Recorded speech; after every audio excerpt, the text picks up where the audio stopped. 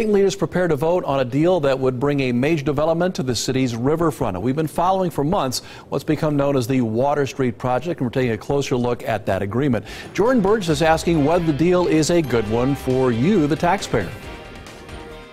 Well, the city's been working for decades to get a development like this on the river. For some, it's a sign of downtown's turnaround. We wanted to know what went into the deal to make it happen. We got a first look at the $33.5 million agreement that city commissioners will consider this week. The Water Street project would include an office building, 150 apartments, and a parking garage along the river in downtown Dayton. Private financing will provide the $26 million for the office building and apartments, while a $5 million loan will be used for the garage.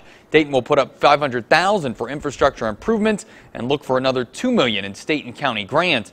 The developer won't have to pay property taxes for the first 15 years under a Community Reinvestment Act exemption. Instead, Dayton Public Schools will get a payment for 25% of what the taxes would have been and 25% of any money made from the parking garage. We wanted to know if the deal is worth it for residents.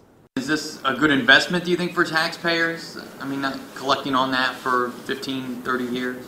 So, so the tax abatement, um, what you're referencing, Jordan, is for the schools, the property tax abatement.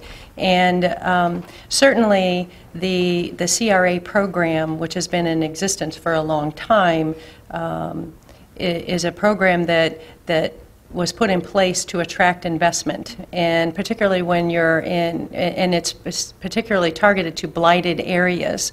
for uh, us to develop uh, this area of land, and we've been talking about it for so long, uh, with uh, not very much money coming from uh, the, the the general fund we're pretty proud of.